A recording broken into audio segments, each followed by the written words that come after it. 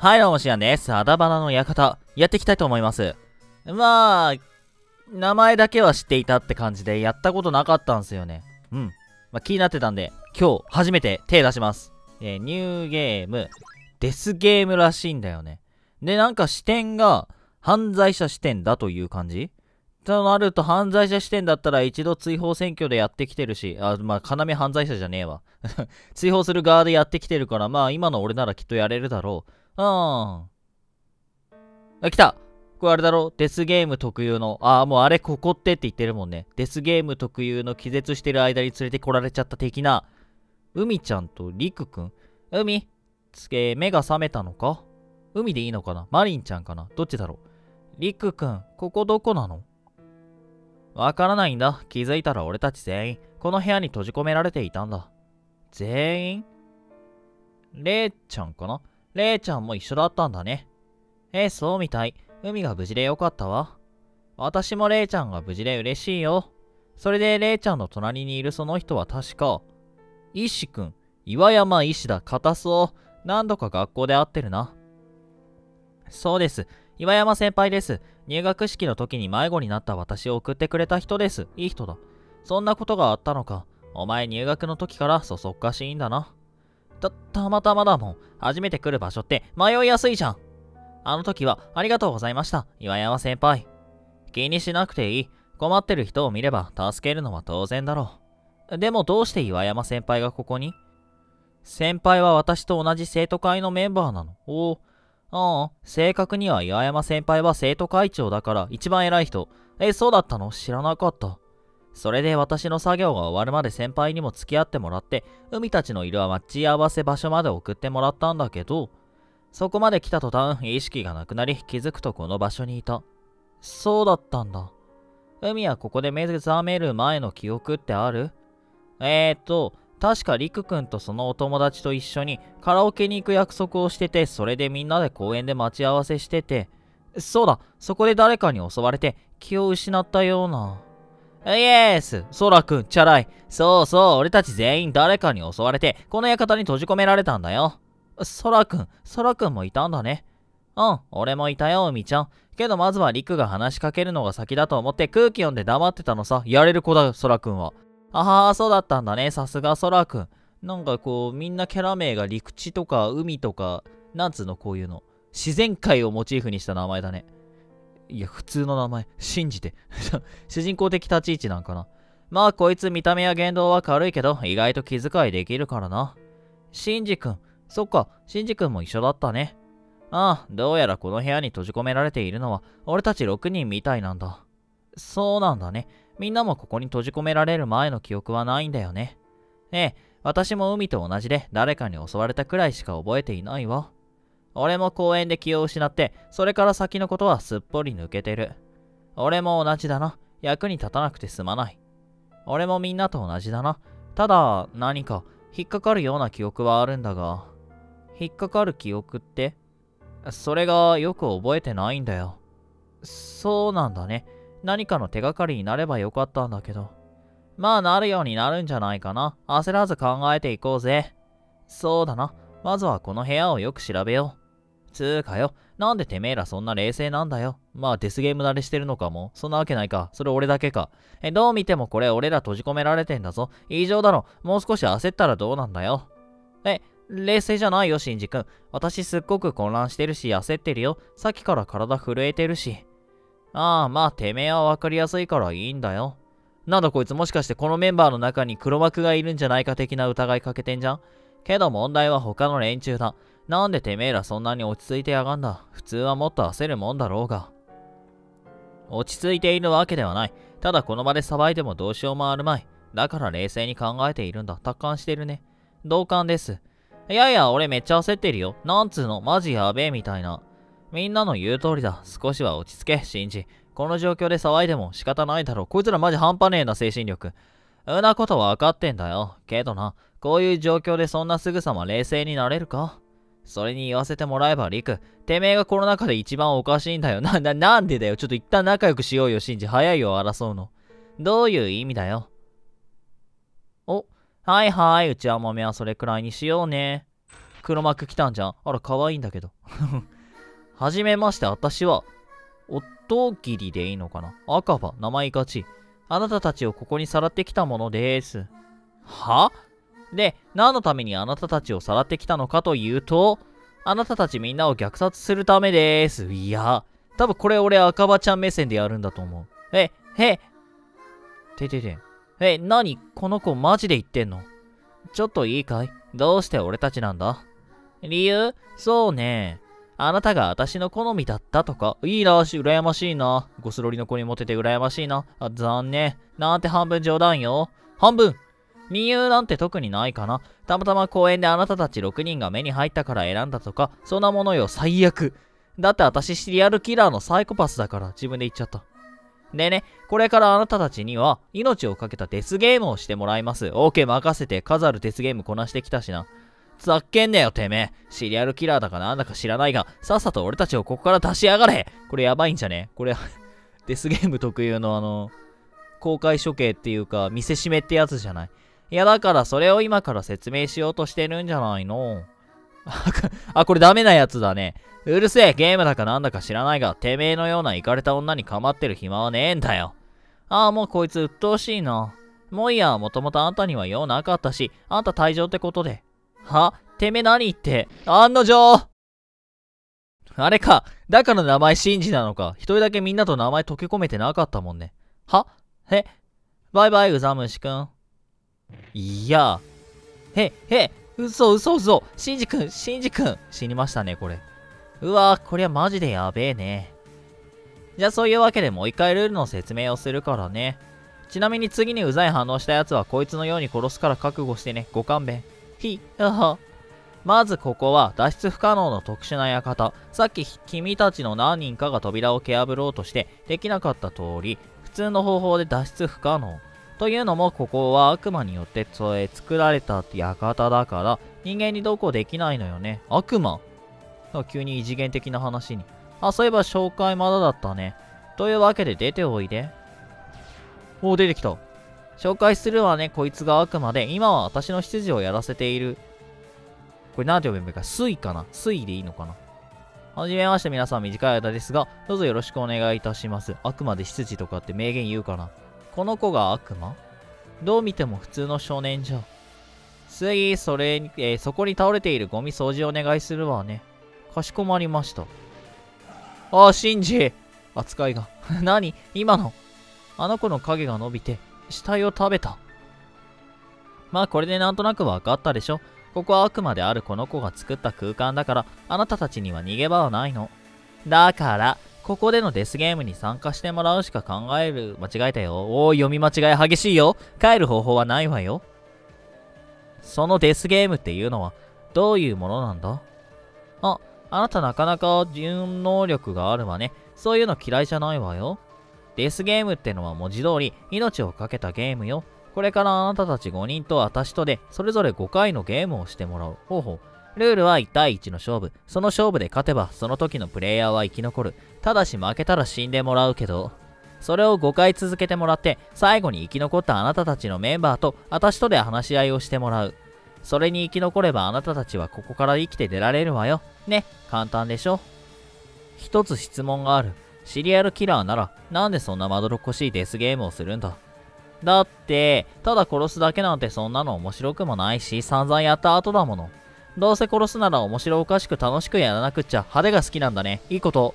そういうわけで私はこれから準備に戻るけどすぐにゲームを開始するから楽しみにしててね。それでは皆様また後ほど。お、これ最初誰から行くんだろう嘘、嫌だよ。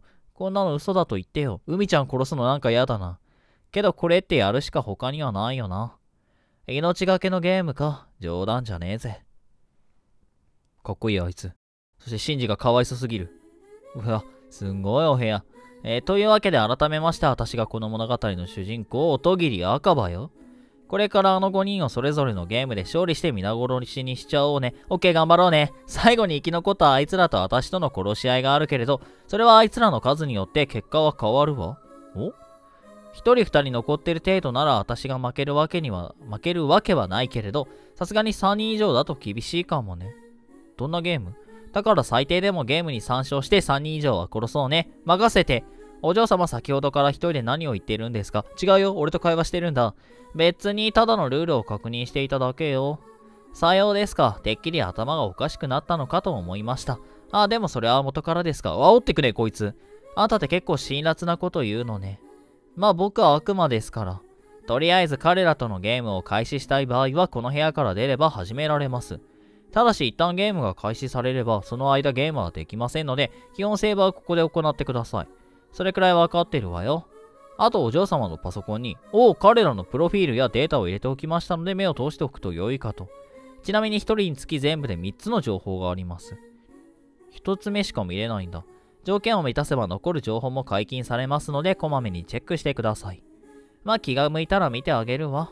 それよりも今は早く殺したい気分だわ。ふふ。さあ、レッツキリングよ。いい言葉だね。レッツキリングテンションが上がる魔法の言葉。うわ、説明が詳しい。コントローラーでやってるから大丈夫です。と一旦セーブして、はい。どうしよっか。ここ気になるっちゃ気になるけど。あー、シンジ見てあげるなんか速攻行ったし。ファイル1。さえもり高校に通う1年生最初の被害者。リック・ソラとは小さい頃からの付き合いであり、友達同士。どこに行くにも3人でよく行動していた。仲良しだったんだな。リクと同様特に目立った経歴や特徴もなく、あえて言えば少し不良ぶってるだけであり、つまりはそうした正常な人間であったため、赤間の嗅覚を刺激せずに真っ先に用なしとなして殺害された。こういう書かれ方されるとなんかみんな、あれなのか？闇潜めてるのか？気になるね。はい。普通の少年。容姿成績スポーツすべて平凡。小さい頃からの幼馴染である天上院空と、し、真島真司とは、えー、今でも親友の関係。これといった特別な何かがあるわけでも、またそうした事件に巻き込まれたこともないごくごく普通の人生を送っている。いや、なんかあるんだよ、これきっと。だって赤羽の嗅覚に反応がどうたらっつってたし。まず誰から行く？はーい、お待たせみんな。それじゃあ早速1回目のゲームのタイトルを発表するわね。何やんの？タイトルはこちらよ。強奪ゲーム。響きがいいね。強奪ゲーム？なんだそりゃ。まあ、慌てない、慌てないルールは今から説明するから。お？ここはゲームの会場よ。左の青い絨毯の上にある金庫があなたたちの金庫。じゃあ右が俺か。で、右の金庫が私の金庫。それぞれの金庫の中には1000万円が入ってるわ。ああ、もちろん本物よ。ゲームの内容は互いの金庫の中からお金を奪い合うというものよ。奪える回数は3回。この時いくら奪うかを選択できるわ。選択できる金額は100万、300万、500万よ。全部合計しても900万だね。ちなみに一度選んだ金額はもう選ぶことはできないわ。ああ、なるほど。で、お互いに3回の奪い合いをして、最後により多くのお金を金庫の中に入れてる方が勝ちってゲームよ。なんか難しくね、これ。そしてこっからが重要よ。私とあなたたち、それぞれの金庫に一度だけ警報をつけることができます。警報をつけた状態の金庫からお金を取った場合、その取った金額分、自分の金庫から相手に払わなければなりません。えぐいな。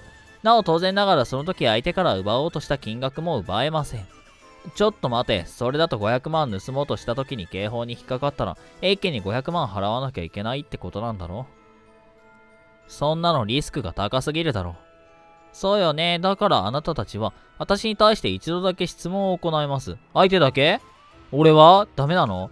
そう、つまりこの金庫に警報がついているかどうかの質問を行えるの。それに対して私は正直に答えないといけません。ちょちょちょ、こっちのハンデが。やばくね？ちなみに私も一度だけ、ああ、できるんだ。あなたたちの金庫に警報がついているかどうか発見器を使って調べることができます。もちろんこれも1回しか使えないから安心していいわよ。なるほど。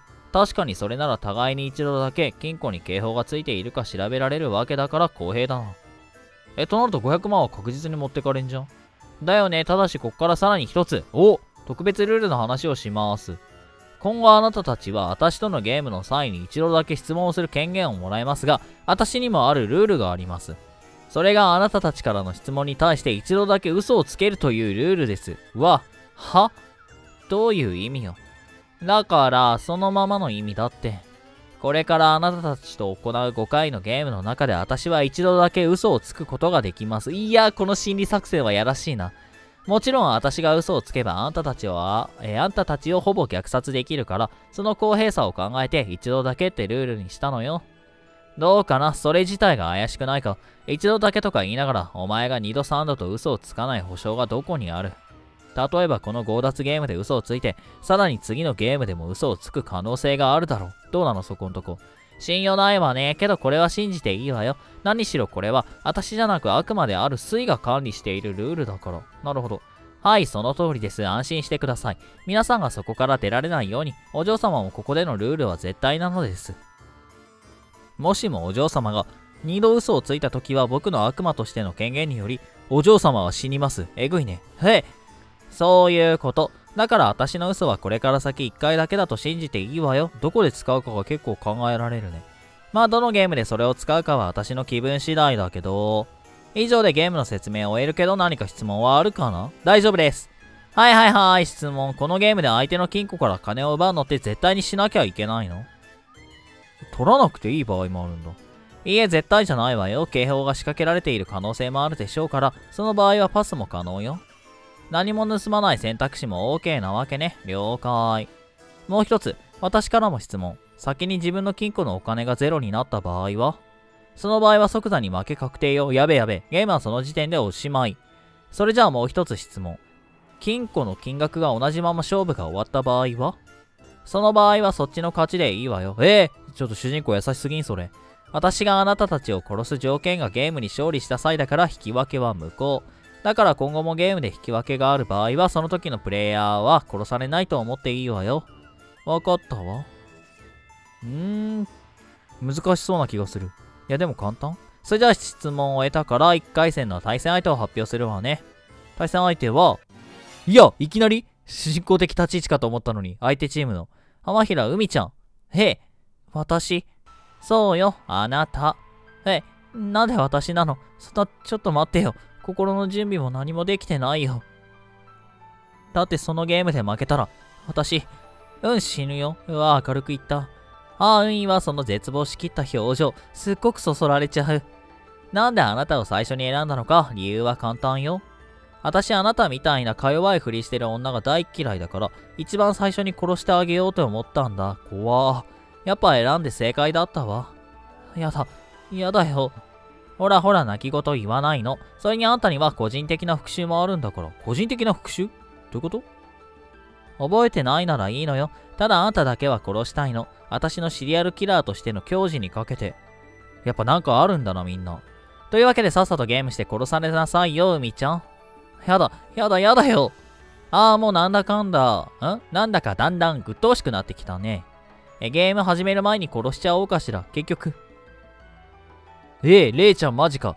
待って、彼女の代わりに私があなたとゲームをするわ。それでいいでしょ？しずくちゃん？レイちゃんじゃなかった。大丈夫よ。海、あなたは私が守るから。アイガーのところ悪いんだけど、それって無効なのよね。あれは、このゲームは私が一度相手を指定したらその相手以外とのゲームはできないの。つまりプレイヤーの交代は無理よ。そんな。というわけで、海ちゃん、諦めて私とデスゲームしましょう。お、今度一先輩。待て。なーに？あんたまで邪魔する気？そうじゃない。一つ質問がある。何かしら？